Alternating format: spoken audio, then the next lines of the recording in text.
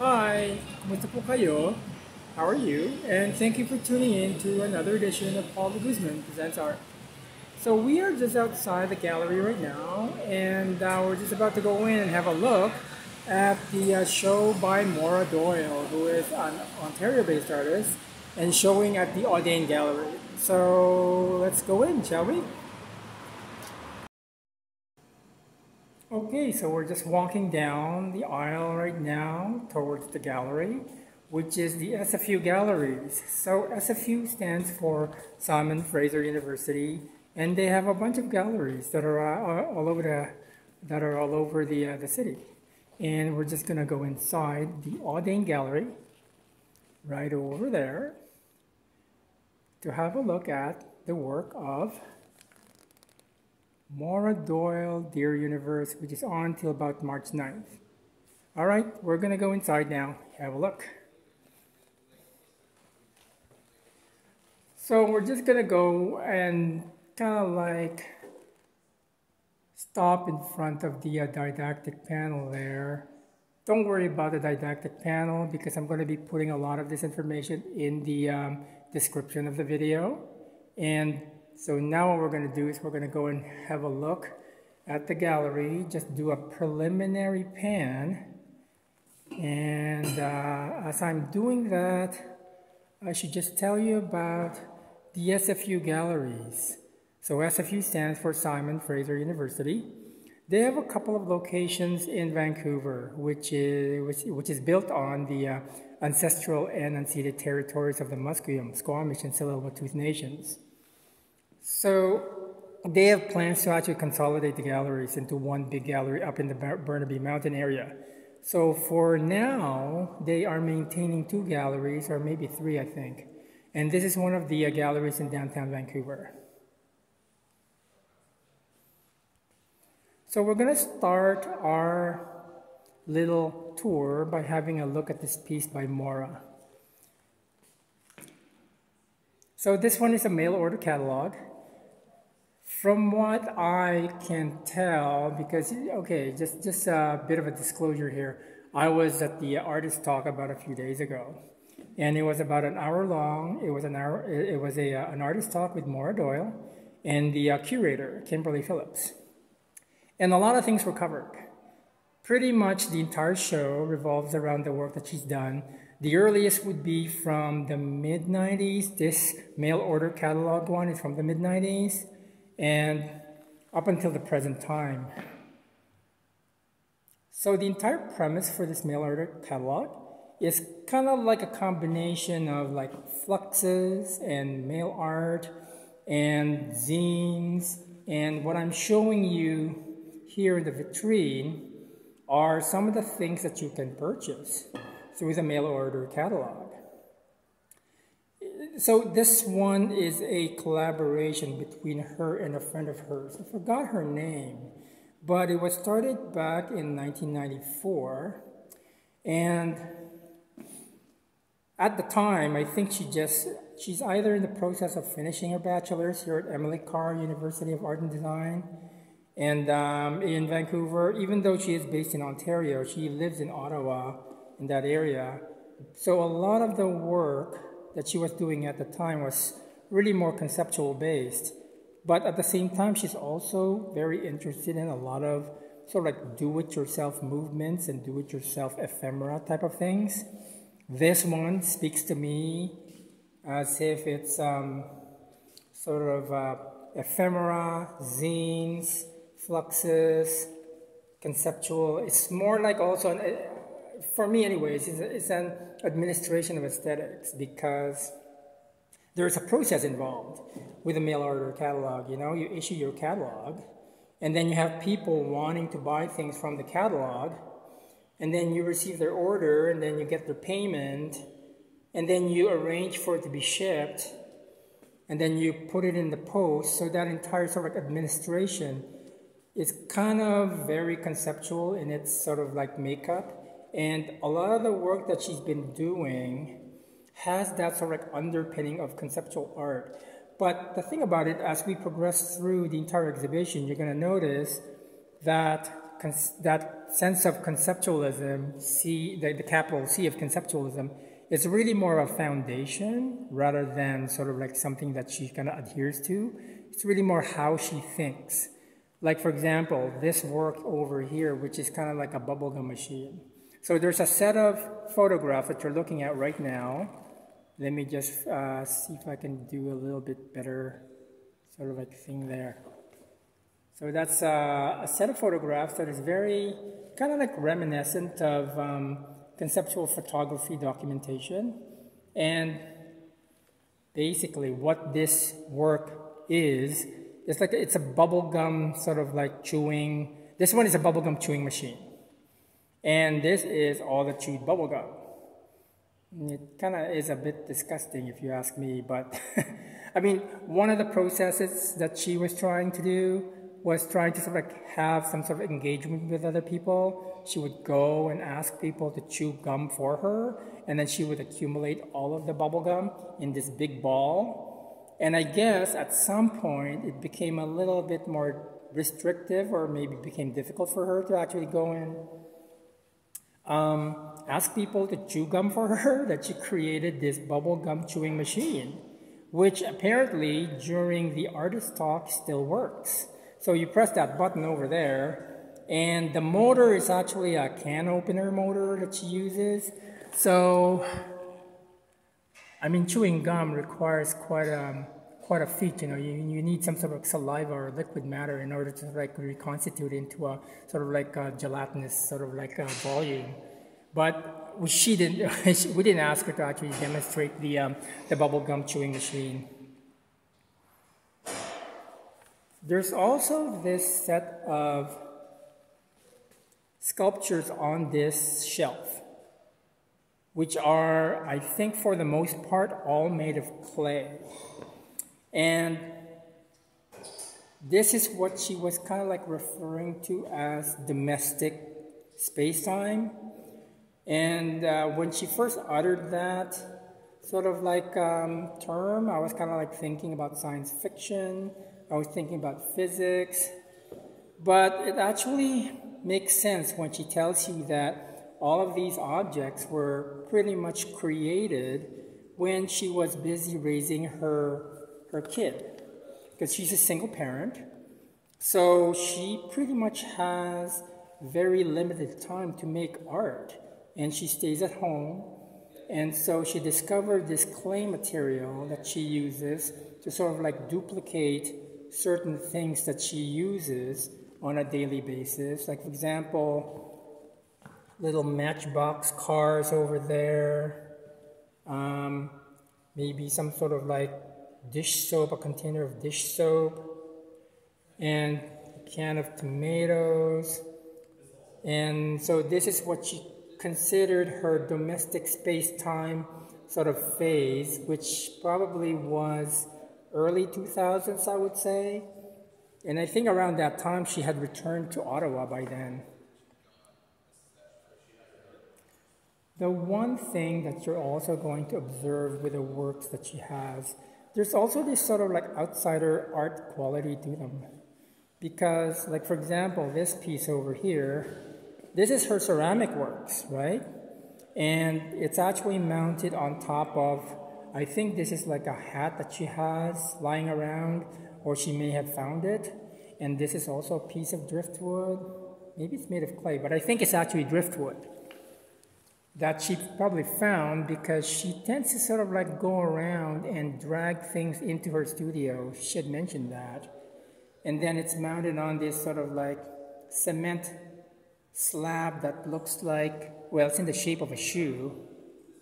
So there's this sort of do-it-yourself type of maybe sculptures for the garden that she tends to sort of like just assemble as she finds things because she was telling us that she lives in an area or she visits an area that has a lot of like objects that you can find and she likes to sort of like combine them into sculptures or perhaps self-portraits because she did actually allude to the fact that a lot of the works that she does tend to be self-portraits. So as time goes by, you know, she's creating these objects or these sculptures that kind of like mimic how she feels at that moment. And then there's also a bunch of ceramic works. We already saw the domestic space-time uh, pieces, but this pile of bones is also made of ceramic. And I think, if I recall correctly, she said there's like about 4,000 pieces of bone in here, and each bone sculpture weighs, weighs like um, a, a plate. So this is like about, I don't know, a few thousand pounds worth of ceramic bone. And she had mentioned that there was this sort of like affiliation between bone and ceramics because they tend to sort of like share similar, similar mineral qualities. So that's why she's kind of like a, a, sort of going in there and trying to sort of like look at the relationships she has with with materials as well and sort of like combining them in her in her conceptual makeup. There's also this work that is made up of swans. Actually, we're just gonna go and um, focus on that one. Now these are swans that she cut up from $100 Canadian bills. So if you look at this, this um, piece, there are 10 sea bills in there. So um, she had cut them up and pasted them up there as a collage. There's also this fascination about the beaver. and um, funny enough, you know, like I'm, we're just gonna go and watch the, the video here of a beaver. And um, it's just going through its motions. And because um, the beaver in when you look at five cent nickels in Canada on the reverse side is a beaver. So it's a, it's a, it's, a, it's an animal of significance. And um, the curator Kimberly Phillips was also mentioning that the beaver is a symbol of resistance because apparently when people were first colonizing the area they were kind of like confronted with all of these beaver dams that they had to sort of like contend with as they were traversing through the landscape.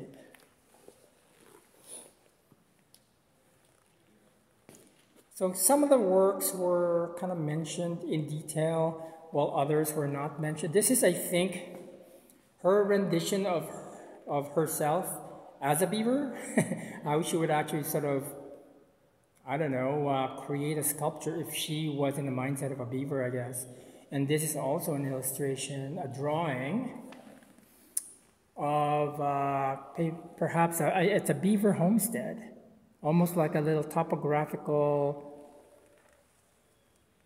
top, well, maybe not topographical, but it's a cross section of a beaver um, lodge, I guess you can call it that. and there's a lot of other pieces here that kind of like has a semblance of do-it-yourself and um, just also allowing some of the um, objects to speak um, to her, and some of them actually she's had for quite a while. There's also a set of drawings here which I kind of find really cool. I think this was the portion of the talk that I wasn't really too, uh, I wasn't uh, uh, listening too well because I was kind of like distracted by one of the objects. But I'm just gonna go and have a look at these for you so that you can select read at your leisure. And then there's this really charming sort of like drawings that she made. And she had made experiments with regard to um, using her left hand to draw. So the, these are the results of those drawings with her left hand because she's right-handed. I guess in a way she's trying to experiment with how she can go and sort of like use a different part of her brain, perhaps dealing with the essence of creativity and just reversing the polarity of your brain in order for you to actually have a different creative experience. I really like these, these drawings. And there's another drawing over here. Excuse me. This is probably another one of those domestic space-time pieces because it's um, it's a drawing of a, of a drying rack. But I don't know, something about it speaks really well to me. It's, um, it's the hand-drawn nature of it, and I really, really like how it just kind of like has this presence in the entire gallery. Like it's on the opposite side of the um, of the gallery, and it's actually quite, um, the, the presence of it is actually quite palpable. And then we're going to go to these pieces over here, which are CT scans. Now we're just going to go and focus on some of them. These you might be familiar with because earlier in the year, or earlier, probably mid 2023, she had a show here in Vancouver with another artist, Robin Arsenault, and I covered that. And it focused on her ceramic works. And when I was talking with the curator there, she had mentioned that there was this sort of like desire for the artist to actually take her ceramic works and x-ray them. And so I think these are the first, uh, this is the first time I've seen these x-ray pieces or CT scan pieces anyways. And um, some of the pieces for that actually are over on this pedestal. Actually, I'm not sure. Maybe these are actually, these are actually different pieces. Because I don't think they match any of the ones in the wall. Let's see. I'm going to go over here, see if we can, so those are the three pieces there. Any of them match? I don't think any of them matches. maybe, maybe except this one. I'm not sure. But the way she builds clay is by hand building. She, I don't think she mentioned using a pottery wheel. So I'm going to put a link to that other video uh, of her ceramic pieces, and then maybe you can watch that and see if you can match up these pieces with those. And then there's this piece over here, which is actually a drawing, another self-portrait, because apparently she, well, she does a lot of self-portraits. And um, this is actually a ceramic piece. And I forgot what she, what the curator said. I think it was, I think the black color is actually a gouache. It's not actually a. Um, I don't think it's a, a glaze of any sort. And then there's these um, balls that are, that, that are used as pinning, pinning mechanisms, and I think they're made of clay as well. I'm not sure. I didn't touch them. And then we're going to go over here for the last piece, because I thought this was a really charming piece, right up there, which everybody was calling the beaver sun. It's kind of funny because when I first saw that, I thought it was a walrus. But no, because of uh, her mention of the beaver as a form of resistance, it kind of made sense. So one last pan around the show. As usual, I will have a lot of this information in the description area. I'm going to post the press release in that area and also the address and the times that the gallery is open. And hopefully you have time to actually come and visit because the show is on till about March 9th. And the gallery is often open Tuesday to Saturday from noon to 5. And um, let's see now. I do like that piece over there though. I hope you enjoyed this video. If you do, please like the video. You can share it as well. You can also consider subscribing to the channel. It's free. It's not going to cost you any money. And one of the main reasons why I have this channel, I'm going to be celebrating my one year. This is my 51st uh, video. So on the 52nd, that'll be my one year anniversary.